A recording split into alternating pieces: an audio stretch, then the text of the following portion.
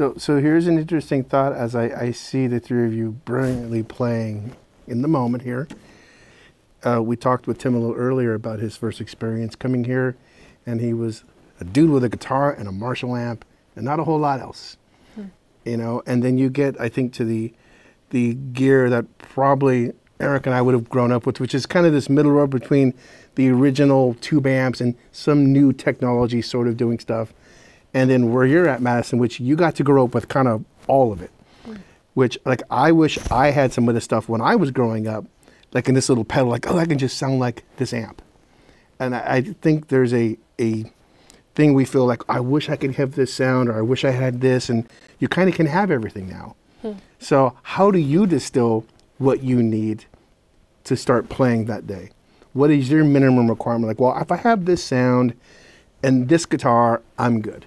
Yeah, I, I, I feel like I've I've barely scratched the surface in terms of everything that's out there because it's an overwhelming amount of information and it's a you know it's just a it's an endless catalog. But I do feel like, for me, uh, you know, tone is um, is kind of everything. That's like th- making sure that I feel like I sound like myself, and um, you know, it's it's it's um, I feel like I, I, I end up with gear that is very inexpensive, and I can't explain why it is that I have you know form an attachment to a guitar or an amp or or a pedal or whatever it is, but it's like that that sort of relationship is um, is everything. And again, it's a, it's a bit indescribable. Sometimes you just pick something up and you're like, there's a song in this, and I feel like I can I can hit a I can afford to hit a wrong note. Anytime a guitar makes me feel like that, or a pedal or whatever, I feel, um, I don't know, I feel like invincible in a way because you're like, nothing can,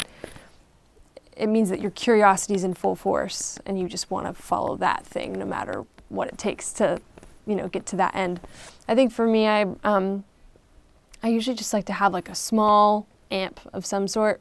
Probably, I usually like play through a Princeton, and um, and just yeah, I, I, I kind of keep my pedal my pedal situation pretty minimal and and um, try to find the melody in in the on the fretboard.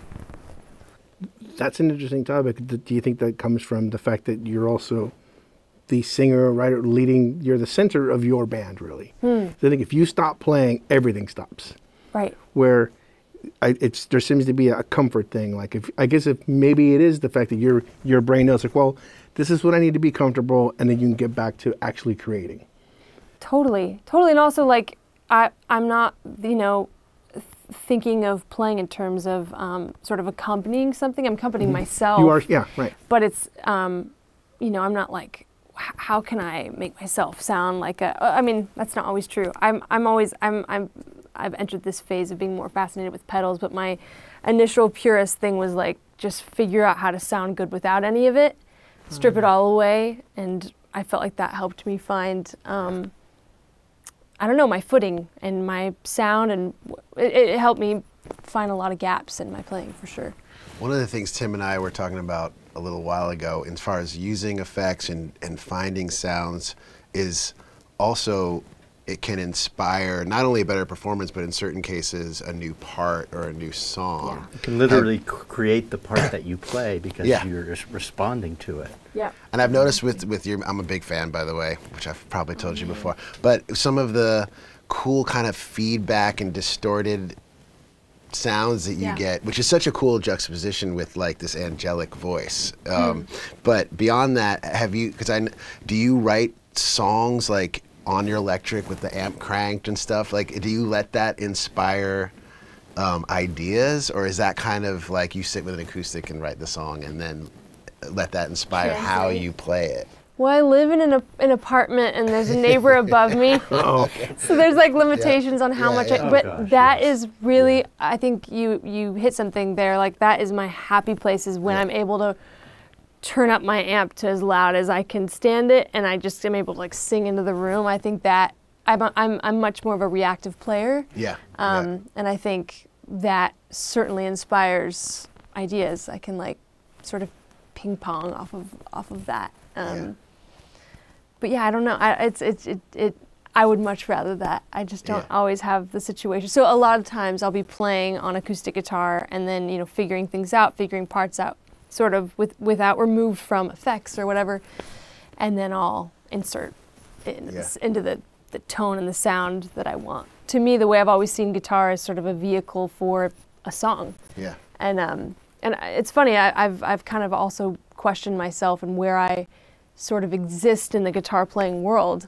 um, yeah. because I'm not necessarily like, you know, I can't like walk the fretboard necessarily. That's yeah. not necessarily my the way my, my brain thinks about it. But I've noticed that you, um, I know we talked before once, and you you actually at least some of the recordings are, are fully tracked live. Right. Am I right? Yeah, you're right. Um, so you're it's you're thinking about that in advance. Initially, yeah, yeah. and I'm also writing in terms of thinking of live shows and Right, what right. that I don't know what the sort of arc of the set list needs and Yeah, yeah, yeah. and how I can pull it off. With I, you know, I've always worked on a budget too, so I'm like, how can I make this this song sing with three three piece, you know, a three piece ensemble? And it's honestly, limitations are your best friend. Yeah.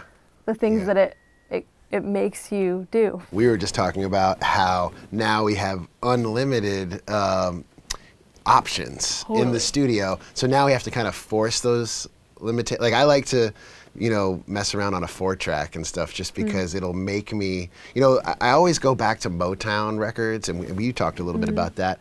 And all of those, there was so much intention in every part because they're all playing together in a room, you know, and I think that mm. actually relates to you playing your, your track, you know, with your band live in the studio. But sometimes I have to create those limitations on myself because all of a sudden, oh, I can do anything. I can get any sound and I can play any synth. I have every Totally. plugin and I've got a million tracks to work with. Um, so I think that's kind of an interesting thing now is that we have so many options that we can get like lost in it. Well, both of you guys are really smart in that way because you're artists and you have to reject like a thousand things and find the five things Yeah. that make you unique and separate you. And you both do that. You both do it. When you um, go to record and you are faced with the idea that you that, that that there are limitless options, have you ever made something where you've walked away and been like, I don't really know what this is because I used everything Oh, at my absolutely. disposal? And also, um, as a producer, I've worked with so many artists over the years, and especially younger artists that that know how to use Pro Tools or Ableton, Yeah. and they'll be like, "Can I take the session home?" And I used to be like, "Yeah, sure." And then they'll come back with like a thousand versions of everything and plugins, like ten plugins on every track, and I'm like, "But I, I and, and I get it because it's fun. It's Yeah. fun to play around with these things, but then you can get lost. You can get lost." And it's so um, discouraging when you when you don't know how to get out of it. When Yeah, something was like a pure idea that suddenly just gets riddled with all of your like, you know, your ideas that that turn into sometimes insecurities of like, oh, I don't want it to sound too much like this, so I'm gonna pepper it with this or what, you know what I mean? And then you're you've got this like cocktail of of too of You too many suicide things. cocktail. Yeah, when it's all about the ingredients being good and fresh. You know, the best Yeah. cocktail has like two or three ingredients, and they're just really good ones. Yeah. You know, but that was it's refreshing to hear your music because I think I discovered at some point that I listened to one of your recordings, and then I watched a live thing, and I was like. That is the recording. I think there's one one of your songs where there's a video and Hmm. Yeah. it is the recording. I Oh, was like, is that really? So she just tracked this live. This is so cool. And um, in the modern day, there's not like a ton of that. I mean, it, it, I, I shouldn't say that. A lot of it exists, but a lot of the stuff that you come across, you know, on- the radio or whatever, um, it's not just people in a room playing. It's not You a, it's not a priority. Again, I think it's it's a convenience thing too, right? Like I, you know, knowing that you can actually come away with a perfect take if you just like, you know, mess with it enough times, um, is liberating in a certain way. But I think the idea of needing to come into the studio totally like rehearsed, so that you don't let the moment take down the song and the the feeling. It taught me so much as a as a player and, and songwriter, um, but also just as a performer, just Yeah. understanding like this is the one moment that I have to play this song. I don't have tw- twenty, Yeah. you know, and I want to know how to like aim and and like hit the mark. You know, Well, that, historically, that's how great records were made. It was Totally. capturing people in a moment. They got off the road, went in the studio, and got captured. yeah. I want to know about your vibrato pedal. It's a custom signature vibrato It pedal. is, right? yeah. I, I just made it with JHS, and um, they had this pedal called um, the the Emperor. It's the purple pedal with the penguin on it. And um, when I was kind of just getting started and trying to find a home in in being, you know, a, an electric guitar player, I kind of came to JHS, and that was the first place where I was like, "Ooh, I like the sound," and just started putting on everything. And I felt finally like I think this might be something that I feel like is a, you know a part of my playing now. And so he had the idea of making this sort of two-channel pedal that um, allows you to just kind of pick your your vibrato speed on either one. So I can switch kind of mid-song. It's kind of a deeper vibrato. It could go a little bit more extreme. You know, I would never probably do that, Yeah, but but yeah, for yeah. for example, But usually I have this on for for a whole set of music. I, I, I bring it with me everywhere. It just it, it gives this sort of light, um, seasick, nauseous sort of sound. If people let me, I would leave my VB2 on all the time. Why too. don't it's you? my favorite. Thing. It makes my Why body feel different. It's like- Exactly. I totally understand it. It's like because I read this or I see, saw an interview with you where you, and I didn't want to presume that you left it on all the time, but I understand. I'd leave that on all the time if I could. I do. Do you not then? No, no, because I, I do sessions, and so people want different things all the time, and Yeah. sometimes it scares them to have the modulation. So proud of you.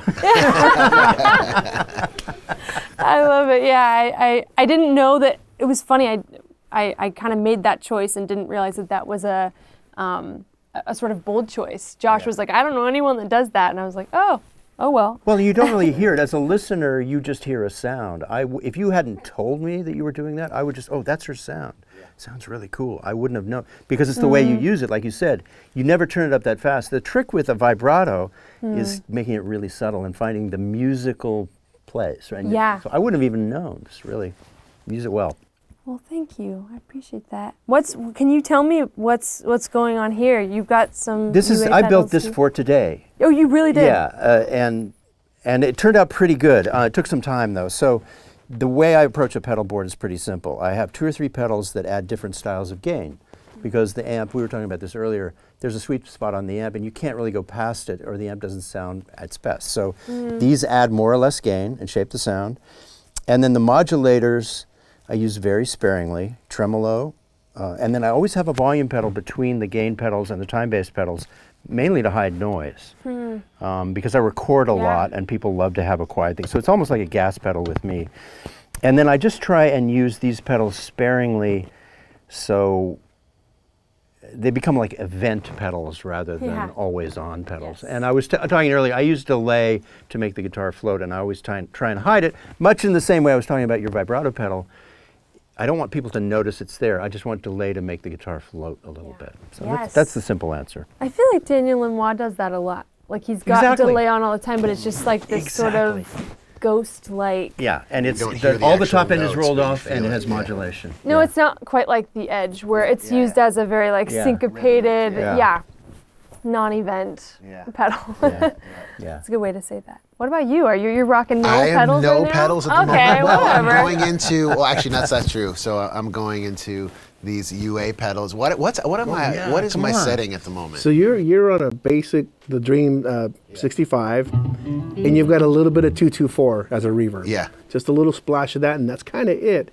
And you know what's interesting is there, and I, I, maybe all guitar players feel this. There are a lot of folks who don't feel comfortable unless they're on their guitar and their specific amp. And one interesting thing you did today was like, that's not even your guitar. You're like, Yeah. no, no, I'll play this one. It's fine. Yeah, yeah. And you rolled up and just played that. yeah. And there's there's that thing when you're like, oh man, I'm grown as a player because you've obviously gotten past that point of playing on whatever the gear is. Well, I just Right. get so excited when it's a cool instrument, even if it's a crappy instrument. Yeah. well, it depends on what you want me to do at, in the moment, but. Um, I, you know, when there's a new sound and a new tone, and also this guitar happens to be one of the most beautiful guitars I've ever played. So uh, as soon as I picked it, up, I was like, "Oh man, can I just play this a little bit longer?" Um, but that's, you know, I, I get just get excited by by different sounds and different instruments, which is also a bit of a curse because when I'm on tour, I want to bring so many different things. But uh, yeah, Well, the guitar changes you. That's what you were talking about too. It actually changes you. yeah, Yeah. And it might be an inexpensive guitar. It might be hard to play. yeah. And and I've experienced that too. Like I'm too slick and polished of a player because that's how I made my living. And sometimes a guitar like that will take some of that away and it's better for me. Yeah. so I understand yeah. that. Yeah, I've been really, I mean, into this Silvertone guitar in, in the studio just because, like, the same kind of thing, just kind of like Yeah. you have to wrangle, you have to wrestle with it. Yeah. You know, but I have a signature guitar, the D'Angelico, that's that I, it's kind of my workhorse that I bring out on the road, and it's because it plays great and it's it stays in tune and mm. ha- it's, and it's it's really, it's consistent and fun to play and. But yeah, in the studio, I just love gra- I just love mixing it up all the time. Well, I saw you play that guitar this week, okay? And I noticed that it, it appears to have P90s in it. Well, they're actually they're their own thing. It's a, it's it's similar to a P90. It's it's a single coil like in a it's an Alnico Very cool. five in a in a humbucker casing. It was something we just kind of during the pandemic, we had some time to Yeah. to create that guitar.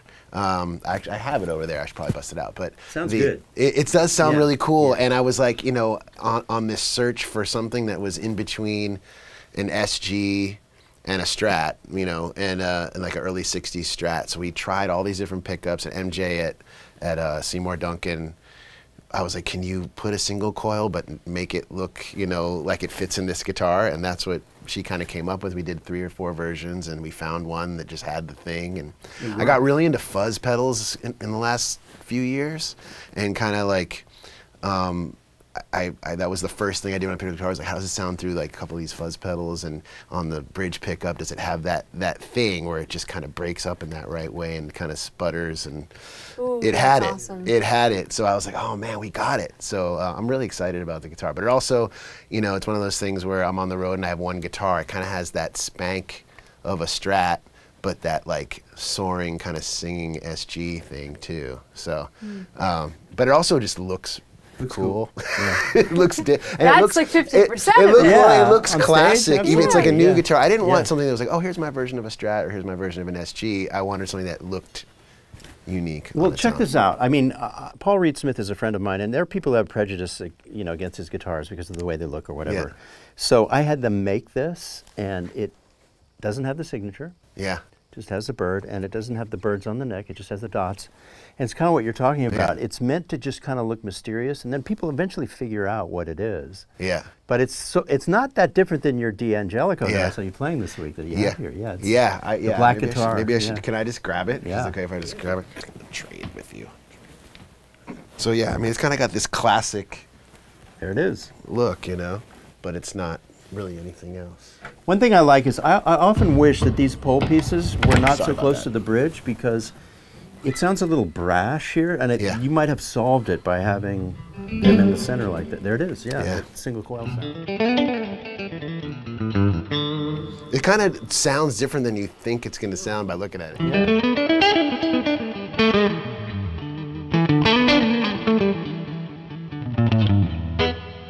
And fuzzes always sound better with single coil pickups. Yeah, that's always it's always been that way. I've, I've that's law. why that's how I got into it because I always played hollow bot, semi hollow, Mm-hmm. humbucker guitars, and I was never I never could get the fuzz sound to work.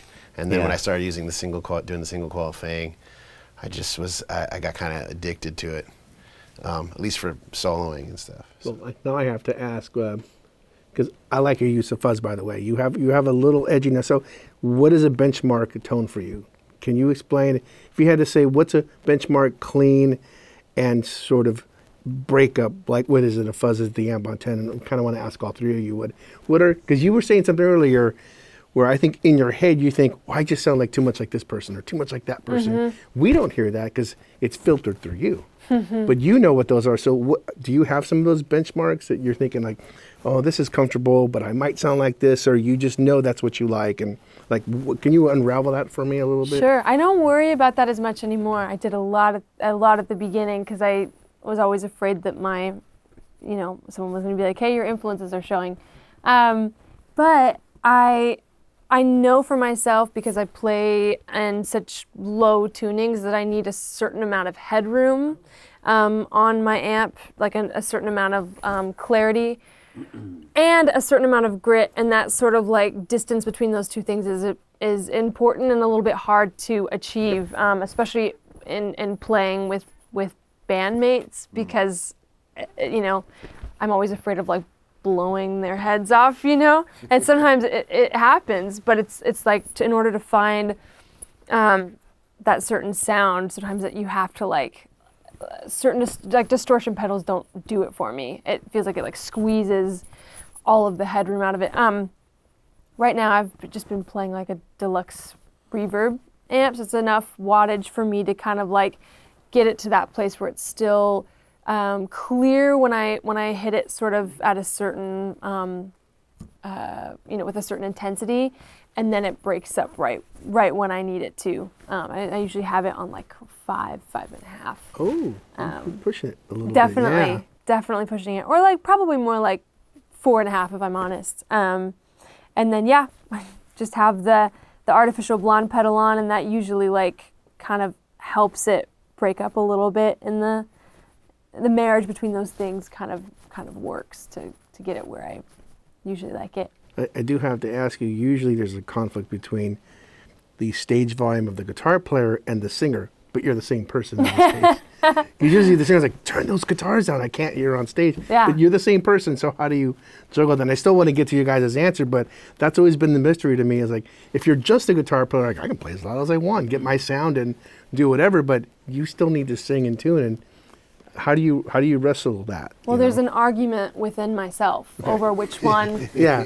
Which one are you at that moment? I'm the guitar player. I, I have to sing now. Totally, and I, you know, I'm I'm always trying to figure out which one takes priority, singer or guitar player, and um, the answer is both, and that's a little, a little, a little tricky. Um, and I don't use in ears. I I just play off of wedges. So um, at this point, I feel very protective over my ears and my voice. Those are two perishable things, and um, so I've I've I've tried to do the old like keep the amp at a reasonable volume and sort of turn other things up on my amp for to produce that sort of crunch um, and gain, and then sorry on my pedal board is what I mean, um, and then like pushing it through the monitors a little bit if I need it. But it's honestly an ongoing. If you figure it out, you let me know because I haven't figured out how to. Well, how I think we have a bunch of other friends who are like, should I go to in ears? I like my wedges. I just like my Marshalls on 10. And it, it, it- everybody's like, I still use wedges. And I was like, I got it's. I don't think it's ever ending because the minute you have to start singing, on top of being a guitar player, those are two conflicting things. Totally. Yeah, trying to get a, a vibe to improvise in any sort of way on the guitar, I can't do it with ears. Yeah, I, I've, yeah. I've tried Yeah. ears so many. I've gone back and forth so many times because for singing, it's so great if you're in a loud band with a lot of members. But I still always go back to wedges if I want to play guitar and sound good. It's like such Totally. a. It's a There's a battle. couple, a couple of great subjects here. Um, I, I want to touch on one that you just brought up, which is hearing. I was born in 1958, so uh, my love of music comes from 60s songs on the radio and then classic rock, the late 60s. To me, the greatest sound became a Marshall 412 because you could literally feel the sound in your chest. And I got hooked on that. That's not good for your ears. Right. And it's just great that you're aware of protecting your hearing. Yeah. I mean, it's a really, really, really great thing. My tinnitus doesn't bother me that much. I'm okay. But it would have been so much better if I'd been able to, you know, not have it. Now, to your question, we all want the same thing. We all want a sound that's not compressed, and we want the amp to be at, you're talking about four and a half on your Princeton Deluxe. That's where it sounds the best. It begins to bloom, mm. but it's not compressed. Yeah. And there's no pedal that you have on there that, that squashes it down. Everything has to stay open. I know you're the same way. Yeah. That's what we all want. And for me, that was Frederick's divided by 13 that he designed with Rusty Anderson. It's called the RSA 23. It's one amp. It's been one amp for me for the past 15 years. And I use other amps for stuff, but that's where it blooms in just the right place. And we just got that sound plugged into the aux because you know what I like and you got it Yeah. for me.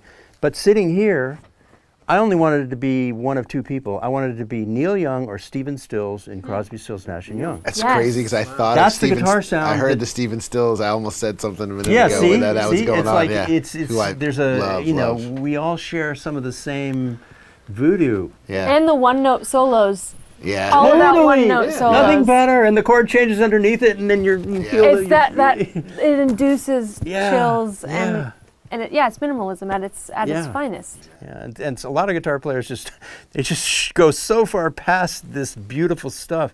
But to me, it was like the guitar playing on Seals and Crofts, which was Louie Shelton, and then uh, Crosby, Stills, Nash and Young. And then I just thought of another record, Shawn Colvin's "A Few, a few A Small, few small repairs. repairs. is brilliant. That is a That's brilliant. if I could be Yes. that guy for the rest of my life. uh, John those- Leventhal, I think. Is who you're Exactly. about. That's Yeah. that's you know the archetype for me of who I want to be. You know, and it, it's based on other people too. But When you say like, if I could be that guy, are you saying because you, you're just you're in sessions and you're you have to be a chameleon of sorts? Exactly. Yeah. Exactly. And that's where it was like, oh, that's that was the era when you could be you could just make colors on the guitar around the songs.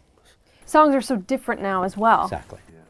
It's a totally different you know generation of songwriters and thinkers. That's so interesting.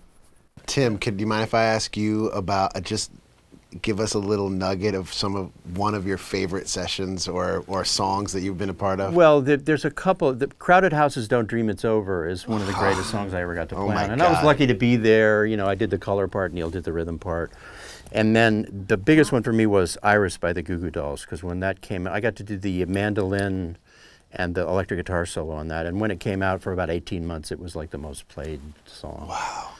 There's probably a couple others too. But I think "Don't Dream It's Over" is one of the greatest, Yeah. one of the greatest songs and recordings. So classic, man. So cool. But uh, somebody asked me the other day, the nicest rock star was Rob Thomas, the nicest guy in the world for Okay. Sma- uh, Smash Mouth. Wow. Yeah, yeah, I mean, everybody's nice, but yeah. I mean, not everybody, right? not everybody. You're right. Not everybody. They're nice to yeah. they have to be nice to. Some of Yeah, them. yeah, yeah. Yeah. Some of our favorite players and songwriters and bands all had an arc. You know, the Beach Boys sounded one way when they got signed, sounded a different way when they ended. Same thing with the Beatles. The Beatles we saw at the end wasn't the Beatles that was the start. And an artist is supposed to grow Absolutely. and explore and not look at Jeff Beck. He was not the same guitar player in 69 that he was in 75, that he was in 83, that he was in 99 and you're supposed to grow and learn new things. Why, why would you stay the same the entire, you know, length of your career? Well, and So- the, the, the, the really the great place to be, and I think you guys are both headed there. You're not looking for hits. You're looking for an audience. Yep. No, I mean that is an incredible distinction, and no one's ever put it that way. It's like, you know, it's it's pe- people who put out hits. It's like your audience is maybe only there for as long as the hit is like, you know, charting. Yeah, and like Dave Matthews is the perfect example of you know that coming to fruition. It, it doesn't matter. It's just him and his audience. It's that way for both of you too. That's so cool. Yeah, I mean, it sounds corny, but the secret is always making the stuff you love and, and impressing yourself, and hoping that your the, your fans are in line with that. you know. Yeah. that's Uh, somebody said to me recently, and it, it's I don't know if I exactly buy it, but he said, "Disappoint your audience. You have to disappoint your audience." Yeah, that's an easy thing to say, but you really can't. I mean, what he meant by that is make sure you're being true to yourself. Totally. Um, but it's not that simple. It's never that simple. Yeah, you feel I'm I would imagine if you really felt like you disappointed the people who have like helped you build your career, Yeah. that you would feel um, some guilt about that. Yeah. Doing Yeah. things for yourself never feels totally, um, you know, carefree. yeah. But yeah, I, I stand by that. I stand by like, you know, being willing to to lose a couple people in way of trying to do something forward. that helps you find yourself Right. and find the heartbeat behind why you started music in the first place. Yeah. Or yeah, that's, yeah. no one's gonna do that for you. whether it's successful or not, you're the one that's gonna have to play these songs for a long time and many, many times. Totally. So That's have to always my it. rebuttal. Like if Yeah. I feel like I'm getting pushed into something, I'm always like, Yeah. yeah, Wait a but second." you don't have to be the face of this. Yeah, yeah. Easy for you to say. Yeah. I have a question for you. I remember this about being on the road. I always felt it was like my duty to take care of everybody else and be there for everybody else. Do you guys find that when you're on the road that you really want to try and make sure everybody on the team is doing okay? That depends. Ah. Uh, well, I, I- yeah, I mean, yes. I, th- th- generally, yes. If it's my, own, so I, I have a few. I know Madison pretty much. You tour uh, is your own. I, I tour on my own, but I also tour with other Yeah. people. And then I, I've been in so many. I've been in bands. You know, I was in Soulive for. I mean, we still are a band, but we, you know, toured for 20 years and. Um, you know, there's just different level. Then more, more recently, I, I- my band, I had like a six-piece band out on the road for about a year and a half, and you know, some of them were like younger guys, and I definitely felt like the dad in that situation, and wanting to make sure everyone was comfortable because at the end of the day, it was my name on the thing, and I wanted, Yeah. you know, there's there's another level of pressure to that versus being in a band where it's like, okay, you know, whatever happens here, it's all three of us or it's all five of us, and you know, um, but and I and I love leading a band, and but it there, it is a lot harder um, than being part of a part of a ba- part of a band where everyone has this kind of equal um, say in things, which can be mm-hmm. complicated. But mm-hmm. also, you know, if, if if things go wrong, it's it's going wrong for all of us. It's not just the one guy. So uh, yeah, it depends on the depends on the setting. Okay, so I learned a little bit about how you set your gear up now. So my question is, grabbing the knob behind you, the volume, lower or higher at those things, how, how would you play differently with that setting? And I'm curious uh, because I've noticed you, you obviously don't play with a pick very much, or maybe at all. I, I, I do It's both at both, times. Yeah. but at least today you're not doing the pick, and you have a very percussive, where every note counts as far as the groove, Hmm. which is really hard to maintain. And there are a few players and friends of mine that can do that. One being Charlie Hunter, who can play bass and guitar at the same time. He's this whole thing. Wow. Or a B3 player can play bass and that. You, I see you as really, I see two sides of your brain going on on the guitar. Hmm. You've got this thing here, and you're grabbing other things. And I'm, I'm curious, how does the amp respond cleaner or dirtier? Do, do you change your playing style? And can we see a couple examples of that? sure. Um, Because I think the amp is maybe at four and a half, five right now. Not too hot, but when it's crunchier, uh, it's it's not crazy hot, but there's definitely like when I dig in and give more power, um, you know, from picked strings, I it crunches, and I feel like I can let certain notes just like you know.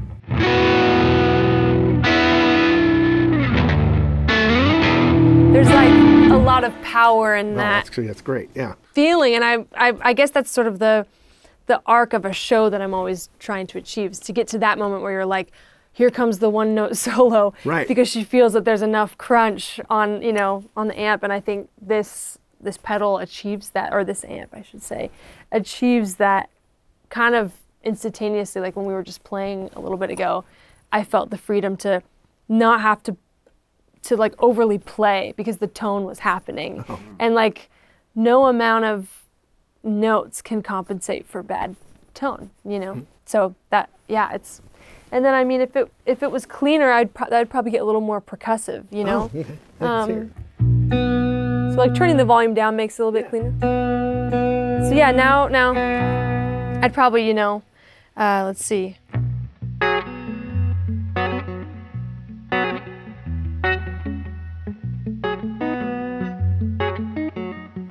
You know what I mean? Like, it feels like there's Oh. a little bit more um, headroom for for the notes to to sing individually, and so I'd probably go a little more percussive there. Um, Well, you just said a whole lot by just playing for us. Yeah, that was great. And, that- and what you yeah. said about the tone allowing you to make, you know, maybe more thoughtful choices and playing less notes. Yes. I think that's such an important statement. Like for me, when my tone is right, I'm thinking more melodically. I can play less. I feel less pressure to Right. to fill the space. You know, mm-hmm. I, I, one of the things that you know, whenever I listen back to like live recordings of myself, I never ever have said I should have played more. It's always I should have played less. Right. Always, oh, hundred percent Oh, of you're the so time, right right? that, yeah. And that's one of the reasons. It's like I, when I when my tone is right, I'm gonna play less. I'm gonna play more, make everything count more. Well, the you know? tone carries you. Yeah. It carries you. Exactly. It's giving you more than you're giving it, even if it's right. Right. If it's right, it's giving you back more. usually, when I'm trying to play more, the thought that goes through my head is like, "Who are you trying? Who are you playing for? this isn't for you. You're miserable." That person's judging me. I'm not playing enough. Right in front, I can see them. Yeah. exactly. Exactly. Well, your playing is very dynamic. I see you purposely playing low, hitting a hard. It, it- there's a, an arc to your playing, even within the parts. Within, yeah. Mm. Within Yeah, the wh- where I, I can see if you had too much distortion, it would all just be this giant mess. As I see you Mm-hmm. Yes. purposely hitting a sharp note here, even doing the. Yeah. I think you actually did that earlier. Yes, You, you just go for that random sort of thing, and those are the fine details that mean. You just, that's not even a chord. That's just like, I'm going to put that there. Well, it's a You know? dynamic style, and this pedal doesn't compress at all. It's totally open. So I know what you want. You want some notes to be like this, and others to be like this, and everything in between. Yeah. And if you, if if the amp, we'll, we'll call it an amp, yeah. Let's allows you to do due. that, then you're there. You're there. Yeah, dynamics are so important. You Yeah. know, it's it's dynamics are the thing that like fills this sort of range of emotion too. Absolutely. and I think you know to have something that allows you to fill that space or or not fill that space. It's um, it's it's everything. You know. And I, I want to say the same thing with Eric. It's, because obviously you have no pedals in front of you or drives, and you weren't really using any overdrive pedals right now either. So it was all about the dynamics of your hand and maybe even just rolling the volume down to clean it up. Yeah. Yeah. Which is very much, I think, where where Tim you would have started with. You put a Marshall on, eight. That's seven. how we did it. That's We, we rolled down the volume, knob volume. and we fattened it up however we could. And Yeah. yeah, you'd make your Marshall clean or dirty. and you play harder, play lighter, days. roll it down. Yeah. yeah. Wow. So I see that in your playing and also the way you manipulate the guitar. And I say that's you, you did the move where you got no pedal board and you're just you're going with it. Yeah. And very mm-hmm. similar to what Madison's doing. Yeah. You know, and there that takes a lot of um, well if, uh, let me put it this way. A really great amp sound does make you feel a little invincible. Like, like, oh man, like I can play anything. And there are nights I've had friends say like, "This was my best night ever. I could play. I felt like I was playing stuff I never could have got away with before." And I've had other friends go, "This was a terrible night," and you see it on their face where like their rig's not sounding good. Yep. And you see them shutting down during the gig, like, "Oh, they're mad." Yeah. Yeah. and, and and it's not like it's I hate to say this too, you know, uh, it should be a tool. The tones there as a tool to make you put music out in the world, and hopefully the tools don't distract you. Yeah. So that's I think as a designer, when you were talking about songwriting, that's an isolating experience because you're doing stuff that's inside, and I feel like even designing gear is the same way. You work on something in a cave for a couple of years. And all of a sudden, you're like, "Don't take this away from me. I'm not ready for it to go out in the world." and you have to get used to people to it becomes theirs. Yeah. And they do something great with it. Just like when you write a song, you write this great part. Somebody else, uh, they wrap that in there, and it's theirs now. Well, he did it. We were at Sunset Sound. We did a shootout. He had the the perfect fender, the perfect box, and the perfect with the other fender, the two fenders, Right, right? right. So he turned it into the Ruby, the Woodrow, and the Dream. And you should have been there. The actual real amps were there, and then he had on the fader these pedals. We couldn't tell the difference. We kept mistaking one for the other. You did it. Yeah. And true story, when I plugged it in at my studio, and I have a 65 Super and a 69 Vibrolux in the live room there, and uh, and I plugged it in just to try just to try it, and I haven't unplugged it since, which is true story. These guys came over, I was still plugged, in, and uh, just because instantly the tones were there, and that's the thing. Also, like there's so many options with it, but it's still simple, and that to me is crucial. And we talked about this earlier. You know, you don't want a, like this large divide between like plugging in and then getting inspired. You want you want it to be simple and easy, and uh, I found it to be like easy easy to work with, but like super inspiring to play through. And um, you know, the fact that it, that I haven't plugged into those amps in a few weeks is I can give you good my address. We'll put the amps at my house. I'll take Now, I will say for all three, the interesting thing was, and maybe you did it when I wasn't looking, but you plugged into the Marshall. I think I put the knobs where I guessed you might like them, Didn't touch it. and I don't think you touched them once. Yeah. It's there. It was there. You know, we uh, we all we all kind of want the same thing. We all want the same thing. The same Yeah. thing. I think I, I go, Yeah. I'm going to guess. And then you're like, okay, that's fine. And then I don't think you would, you, you might have not touched anything. Didn't even Yeah, I haven't touched it. anything. Yeah. so but but that I think that also translates to players who are experienced enough to know like nope this is works for me time to make music. Well, that wouldn't happen everywhere. It's you, No, no, James. no, I'm just very lucky because when you work with players of your level, you know when there's a time like that's that's what I need. It's time to open that part of your brain that's like time to make music. Yeah. And and I hope there's uh, with this stuff that you're not constantly looking at like I wish ah, that's not right. That's the most discouraging thing ever when you play through something. You're like, this should be amazing, but I don't want to play this and I sound bad. And you start downing your playing and you feel that. So hopefully, at least for me today, it was great to see you all roll up, immediately start playing. And because that's kind of what it's all about. It doesn't. It's not about the speed of a processor or the technology. It's about can you plug in, move a knob, and start playing guitar? Because that's all I want to do is play guitar. Well, day. on, on those old mm-hmm. Motown sessions, they had three guitar players. I get that Yeah. today. It's like you, you, Yeah. you can always find space. You come in, come out. yeah. Totally. Wonderful. Thanks. Hey, Thank you. Thank you. Thank you guys. And Thanks for having me. It's cool to be a part of this we could we could do this tomorrow too. Down. every day. We'll bring more toys over and we'll we'll do another round. Done.